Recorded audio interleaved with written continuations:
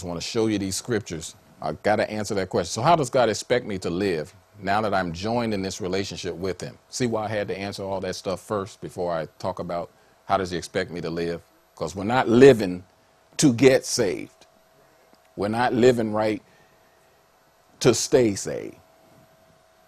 That's a good question. Here are seven of many things God expects you and me to do. He expects us to live trusting Him in our hearts that He has done everything that needs to be done in order for you to get saved and remain secure. What does God expect me to do? He expects me to live trusting in my heart that He has done everything, past tense. He has done everything that needs to be done in order for me to get saved and in order for me to stay saved. He's done it. Got to tell yourself that. I choose to live as if though God, and not if though, because He has done it. He's done it all.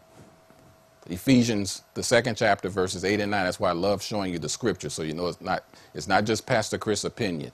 For by grace you have been saved through faith and that not of yourselves. It is the gift of God, not of works, lest anyone should boast. Isn't that a key phrase? It is the gift of God, not of works, lest anyone should boast. Titus, third chapter, fifth verse says, Not by works of righteousness, which we have done, but according to his mercy, he saved us through the washing of regeneration and renewing of the Holy Spirit. Regeneration literally means new life. Wow. Hebrews 10 14 says, For by one offering he has perfected forever those who are being sanctified. Oh, that's a profound word there. He has perfected forever. perfected literally means to make them complete. When you see this word in the New Testament, the, it's not talking about flawless performance. It's always talking about two things making something whole and complete or something mature. When you see that word. And so many people take this word and they apply 21st century English definitions to these Old Testament words and say, See, God expects you to be perfect. His word says, Be ye perfect as I am perfect. Well, actually, I got to say it now. I got to explain it since I threw that out there.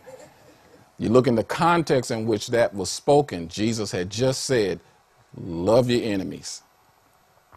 Pray for those that, that despitefully use you. Do good to the folks that hate you. Then, in that context, he says, Be perfect as your Father in heaven is perfect. So, what is he talking about? The word perfect means also means to do it unconditionally. So the same, so I'm telling you to love your enemies, do good to those who don't treat you right, pray for them, be perfect the same way the Heavenly Father is perfect. God loved us and all our imperfections. So he's saying be like the same way God loves us perfectly. He doesn't make he didn't put conditions on his love, unconditional love. So be like that. That's what that scripture means. Wow. Aren't you glad to get all the religious stuff taken out of it? You mean I don't have that scripture doesn't mean try to be perfect like God is perfect? Well, from the perfect perfection from the standpoint of loving people without making them love you first. Give them perfect love, mature love, unconditional love, complete love. Don't hold nothing back. Just the opposite of what you've experienced all your life here in Harrisburg. Well, if you do such and such, then I'll do such and such. No, he said, love him. Wow. One offering, one offering, Jesus dying on the cross. He perfected, got to see this, past tense. Read these words. He has perfected or completed forever those who are being sanctified.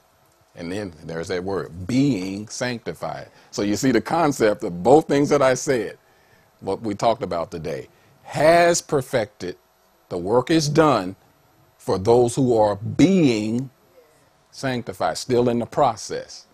Aren't you glad when you see it in Scripture?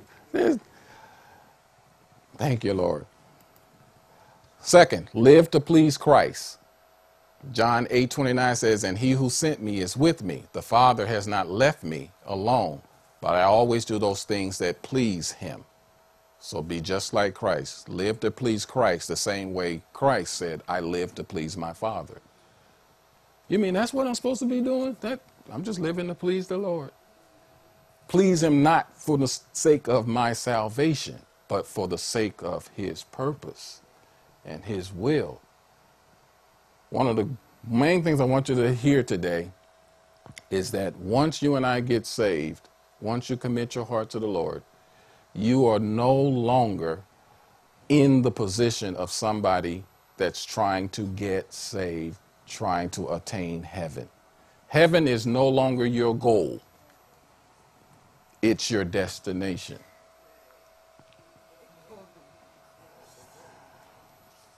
Because you'll, you'll find this in many people's lives, not just church, but even folks that don't even go to church. They're trying to live right or live good enough to make it to heaven. So, what's the difference with you right now? You're no longer living just trying to make it to heaven. Now you're just living your life to please God. I'm just living to please Him. Whatever He wants to do through me, I'm living for that purpose. We live our lives to the praise of His glory. I want His Him to be glorified. And that's why He will assign you and me a purpose. He'll give you and I an assignment. He does. And there are assignments that He gives us every day. I believe that God gives us daily assignments, weekly assignments, some most of them we're not even aware of, monthly assignments, annual assignments in our road, some of the things that I know that are still in my heart to see happen here in Urban Life Church, uh, all of you, especially all of the young people, younger people, I say younger people here in the room, there's things that God's still uh, showing you about your future and where you're headed. There's an ultimate purpose He wants to bring through you and He's going to do through you. But it's not just what He's going to do down the road. There are things He's working through you right now. Do you know that you are right now touching somebody's life as you are pleasing God? Somebody's watching you. Somebody's being encouraged, encouraged by you. There are people who have wanted to quit, wanted to stop, but they watched you, or you said something, or you did something, didn't even know that you were, God was using you to bring His life and healing through you. In fact, I believe that most of the things that uh, God is doing through us, and this is very important when I say live to please Christ, because sometimes we'll try to figure out what am I doing to please God. And so I'm not going to throw that heavy pressure upon you because I know that living to please Him is really comes down to this Lord, I'm just going to do what you're telling me to do today. That's really what it comes down to. Lord, I'm just going to do what you're telling me to do today. Tomorrow's not promised. This is important. That way you won't be frustrated about whatever you don't feel like you're not accomplishing yet. Lord, I just live to please you today. I'm going to do what you're telling me to do today. Sometimes what God will tell you to do ain't even nothing deep and spiritual. He'll just say stuff like, uh, like telling me, just take your family out to dinner. Just have the little thought, take the family out to dinner. Well, that's not deep and spiritual. Yes, yes, it is. Yeah. He will. He'll do that kind of stuff. Just say, take your daughter skating. Just, just go. Go have fun with your daughter. Why? Because there's bonding. There's, there's memories that you're making. That's all a part of forming, of forming in her understanding how much she's loved. So that there's a security that's in her the rest of her life. You'd be like, all I did was took my daughter skating. You're like, no, you don't know. I, that was an idea that I put upon you because of something I'm communicating to her. You be thinking that ain't deep and spiritual? Yeah. Just do what he's telling you to do today. Thank you, Lord. Therefore, having these promises, 2 Corinthians 7 1 says, Therefore, having these promises, beloved, let us cleanse ourselves from all filthiness of the f- flesh and spirit, perfecting, there's that word in the present tense, perfecting holiness in the fear of God. So that's the reason why We're perfecting. Oh, there's that sanctification part. I'm living to please Him. So all of the stuff that I'm still struggling with, that I'm still dealing with, Lord, you're perfecting holiness. I'm putting it away. And the times that I'm not successful in putting it away, Lord, I still know you're not leaving me. But that's part of living to please Him. I live to please Him. Number three, put Christ and His desires and commands first. Matthew 6:33 says, "But seek first the kingdom of God and his righteousness, and all these things shall be added." Colossians 1, 16 through 18 says, For by him all things were created that are in heaven and on earth, visible and invisible, whether thrones or dominions or principalities or powers. All things were created through him and for him. That's a profound reality. All things were created through him and for him. And he is before all things, and in him all things consist. And he is the head of the body, of the church, who is the beginning, the firstborn from the dead. And in all things, that in all things he may have the preeminence. So you see what the description of, of, uh, of Christ, he's everything. He's first. He's number one. He's first. He's last. He's, he's it. He's everything. so that I put, Lord, you're first because you, you really are. Whether I accept that you are or not, you really are. And, but it comes, come, becomes a little bit easier in life. I don't say, I'm not saying life is easy, but it becomes a little bit easier when we just go ahead and just acknowledge Him. Lord, you come first. I live by your commands. Number four, God expects you and me to read and study and obey the word of God. Matthew 4 4 says, But he answered and said, It is written, man shall not live by bread alone. Many of us are familiar with this scripture, but by every word that proceeds from the mouth of God. 2 Timothy 3 14 through 17 says, But you must continue in the things which you have learned and been assured of, knowing from whom you learned them. And that from childhood, this was written to Timothy, but he, uh, saying these, this is how he grew up, and that from childhood you have known the Holy Scriptures, which are able to make you wise for salvation through faith, which is in Christ Jesus. So it applies to us. You have known the Holy Scriptures, which are able to make you wise, wise for salvation. What does that mean? To have the proper understanding, which I'm giving to you today, a proper understanding of salvation through faith which is in Christ Jesus. So continue in the things you've learned. Continue in this. Verse 16 All scripture is given by inspiration of God and is profitable for doctrine, for reproof, for correction, for instruction in righteous in righteousness, that the man of God, which includes all the ladies, may be complete. There's that word. I could easily put the word mature or the word perfect in that passage, that we may be complete, thoroughly equipped for every good work. That's how God expects us to live, according to the Word of God. That's why you hear me saying that so much. wave it down. That's why you keep hearing me say that so much. Get in your Word. Get in your Word. Get in your Word. Get in your Word. It's not going to be by having some type of special experience or not even just, and God will give us special dynamic moments in, our, in His presence. We'll have wonderful worship times together. God will move by His Spirit. I'm telling you, it's coming. It's coming for us. We're going to have major breakthroughs, but God doesn't want us just to live just from one great, powerful service to the next. He wants us to live here, that the man of God may be complete, thoroughly equipped for every good work. That's where he wants us. He wants you to continue in the things which you have learned. Rehearse it, go over and over it again. Walk through it, feed on it, and then live it. Actually, intentionally, be deliberately, do be deliberate about it. Uh, and so I would encourage everyone, you know, set aside time for the Word of God. Really, really have to be intentional about that. No, you won't, won't always, you won't, you know, I can't say that you can you know, take an hour every day and all that kind of stuff. But really, take the time. Buy a devotional. Buy a good devotional that are, and there's so much stuff that's available online now where they at least give you one scripture and an explanation to get you started through the day. Extremely important. The Word of God is so potent, it's like taking a little tiny energy pill. they talk about that five hour energy drink. That's the Word of God, man. It'll take you through the whole day. You'd be like, tiny little bit, I'm good. it really is that powerful. How many of you done that? You've read a devotional just at the start of the day and it just carried you all day long. And of course, you ask yourself, why don't I do this more often? How come I don't read this thing every day? But that's part of even our sanctification, just more and more. Get in there and do it. Grow.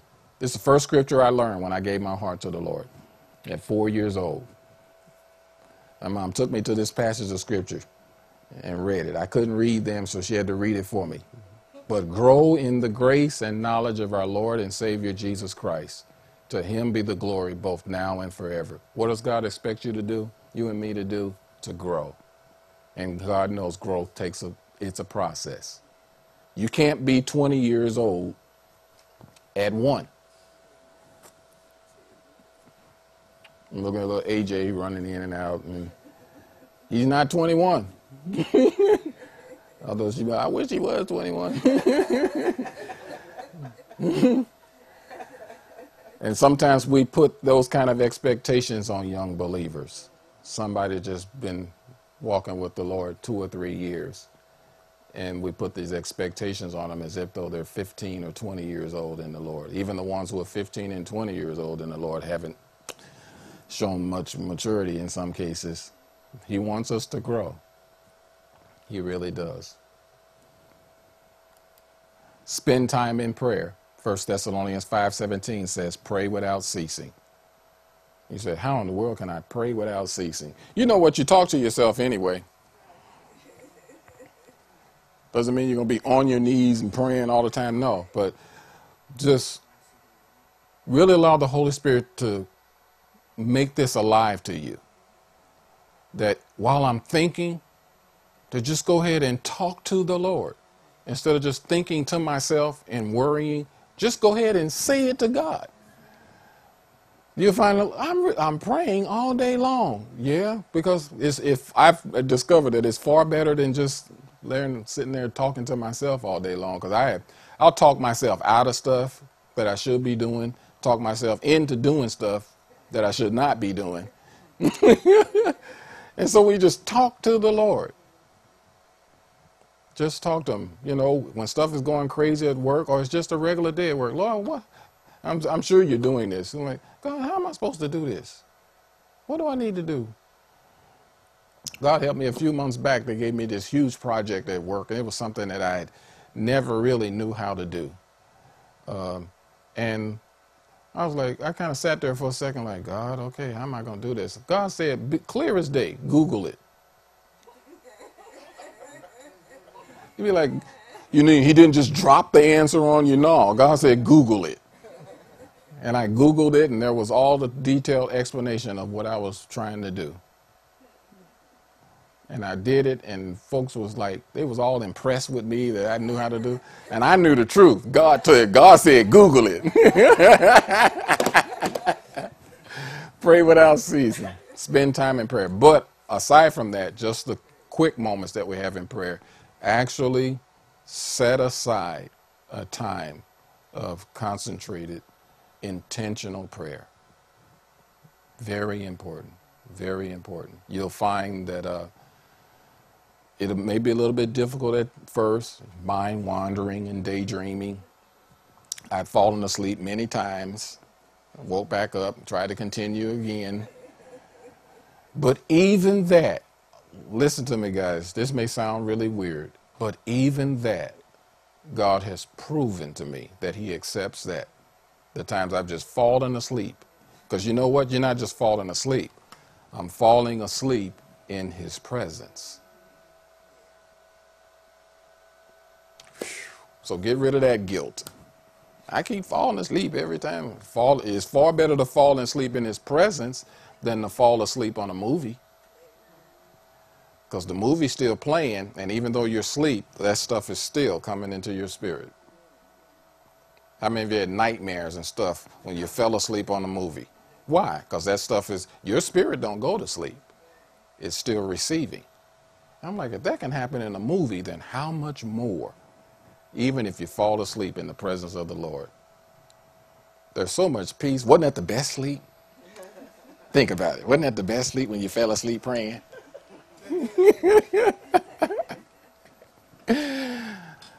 oh, thank you, Lord. But don't feel guilty about it, is my point. It's about spending time with Him. Thank you, Lord. Finally, tell others what God has done for you, what God will do for them. Never be ashamed, and that's the point. Never be ashamed of your relationship with God. Never be ashamed. People ask you, and it does come up.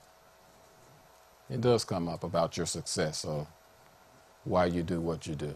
Don't just say, I go to Urban Life Church. Just, you know, this is God. God help me. He gets all the credit for, for what's happening in my life. Tell him. That comes from John 4, 4, or the story of the Samaritan woman. Many of you are familiar with that story of how Jesus sat down at the well and talked with this lady who had a very, very difficult history. She had been married five times and was living with a guy. Uh, historians say, some of them say that she was, you know, kind of had a reputation, was, and part of the reason why she was even coming to the well at that time of day was so that she could do this when nobody else was around. But after the Lord spoke into her life, as God, as Jesus did, as He spoke into her life, she was so excited. She ran back to the town and told everybody, "Come see the man who told me everything I ever did." She was so excited and so changed by what He had done. So don't be ashamed of what God has done in you. Uh, tell others what God's done for you. You don't have to get into religious debates. I would encourage you there. If people want to fight about religious beliefs and doctrines and heaven and hell and all that, you know what? You can just tell people what He's done for you. Because people can argue with your doctrine, but they can't argue with your testimony. Nobody can argue with your testimony. I know what He did for me. Thank you, Lord. And so that's all of them, all seven. Assured and for you to be assured and secured in and to know how he wants you and I to live uh, now that we've done, now that we've accepted him. I won't go into all of this today. I knew I wasn't going to get that far.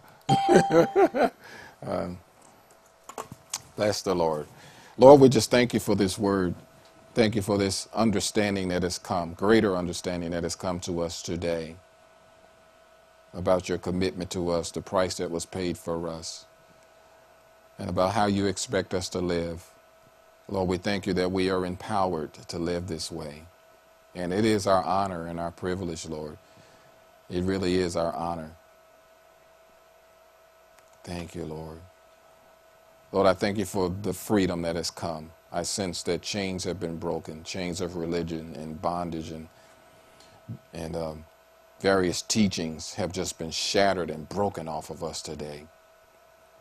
Thank you, Lord. I just sense your peace, Lord. You just receive that right where you are. Thank you, Lord. Lord, I just receive your peace. I receive this assurance. Thank you, Lord. Don't be afraid of the freedom. Don't be afraid of the freedom. Bless the Lord. Thank you, Lord. The story goes that one of the concentration camps in second in, the, in World War II when the war was over, these people, many of the people had been so abused that uh, even when uh, the prison guards left, they abandoned this concentration camp. I don't remember which one it was in World War II, where they were holding uh, Jewish people and various ethnic groups. Um, even after the, the prison guards were gone, the people still stayed in the camp for weeks. They could have just walked out at any time. But because of the psychological damage, emotional damage, all the stuff that happened to them being in that camp, even with no guards around, they still stayed.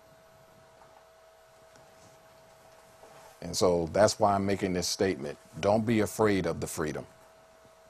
We've had so much religious bondage and uh, kind of like prison guards, you know, elders and mothers and missionaries, and y'all know who all the different people are in church who are always checking you as soon as you walk in the door, making sure that your your dress is the right length and your makeup is in, and the guys got on suits, and you know you'll see them throughout the week, and you're hoping that they don't catch you doing something wrong. Those are the prison guards, just ready to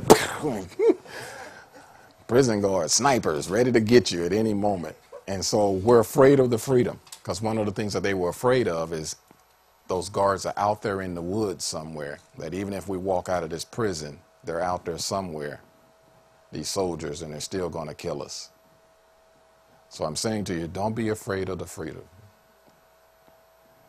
There is, there really is this much freedom in Christ that I can just live my life for His purpose and don't let no, no stigmas, none of the mistakes of the past, none of the stuff of the past, don't let it stop you.